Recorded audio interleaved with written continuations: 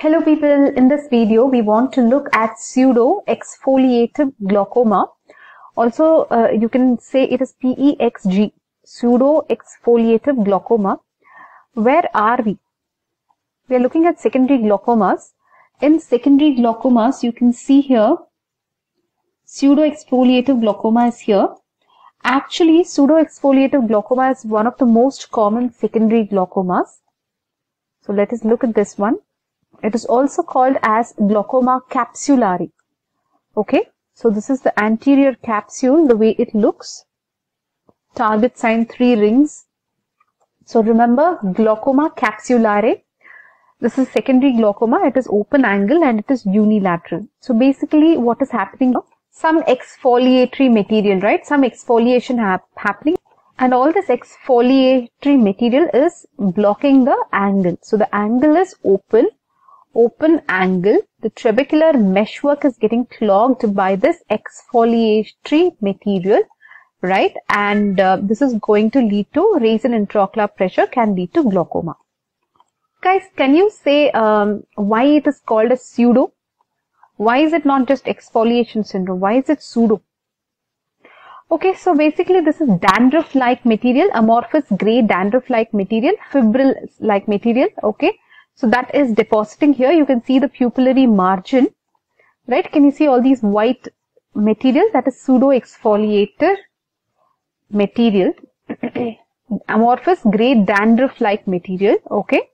And, uh, and where and all it will be in the pupillary border, anterior lens surface. You saw the anterior lens surface, posterior surface of iris, zonules, ciliary processes, etc. Right? It can also be there in other parts of the body guys it just need not be only in the eye okay so what happens because of this there is trabecular blockage by this exfoliative material and that will lead to rise in IOP then glaucoma. The, what will you see? Anterior lens capsule, you will see this target kind of sign, three rings. Then pupillary margin, you will see deposit. And uh, pupillary margin, again, they're talking about some uh, moth-eaten pattern near the pupillary sphincter. Okay. So all these things you will how will you treat this glaucoma? Basically, this is open angle, right? And usually it will be unilateral, they are saying. It is open angle. So if it is open angle, what will you do, guys? If it is open angle, the angle is open. So you, the, but the trabecular meshwork is blocked, isn't it? so you can give standard drugs, you say, okay. What will you give? Anti-glaucoma drugs. Very good. You will give anti-glaucoma drugs.